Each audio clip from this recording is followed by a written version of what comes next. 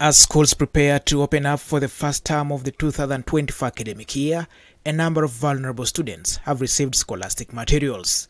The materials distributed include chalk, books, pens, pencils, geometry sets, among others.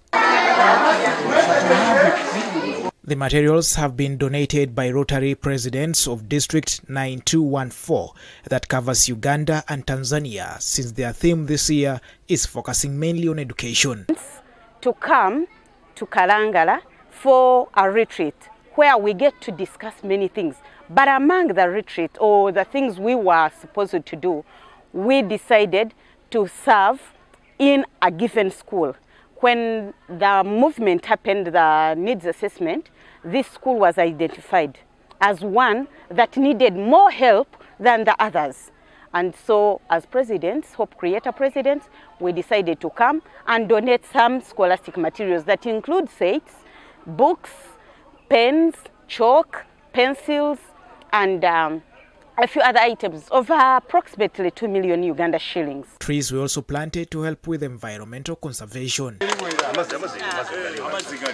Lawrence Luera, the school director, has thanked the Rotary Club for the support. So uh, we have been given this uh, scholastic material. Basically, we are so grateful, and we think this scho- scholastic material are going to be donated to these uh, venerables because we have obvious, obvious orphan and vulnerable children. So we are using our money to buy these scholastic material. So they have been given for free. So our cost is going to be reduced because as they have said, it is worth 2 million. That is a great contribution to Bridge of Hope, community-based school, and Bridge of Hope community-based organization. Yes, our Hope Creator presidents have given us something small for our children, the scholastic materials.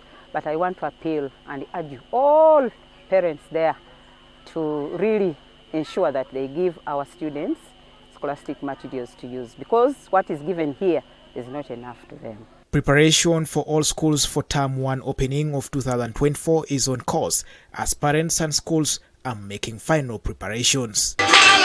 Powered by Samuel Nkuba for the news.